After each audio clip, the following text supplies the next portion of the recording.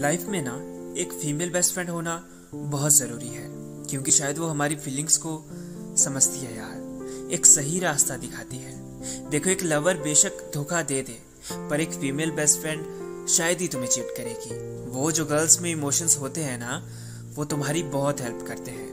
मतलब जो तुम फील कर रहे हो, वो एक फीमेल बेस्ट फ्रेंड यकीनन फील कर लेती है। तुम्हें खुश करने के लिए या इम्प्रेस करने के लिए वो तुमसे झूठ नहीं बोलती। ऑनेस्ट ओपिनियन तुम्हारे बारे में रखती है। और सबसे बेस्ट बात यह है, ये जो फ्रेंडशिप है, यहाँ तुम्हें सुना जाता है और समझा जाता है। और मेरा यकीन मानो, अगर वो लड़की सच में अच्छी है तो तुम मुझसे कुछ भी शेयर कर दो।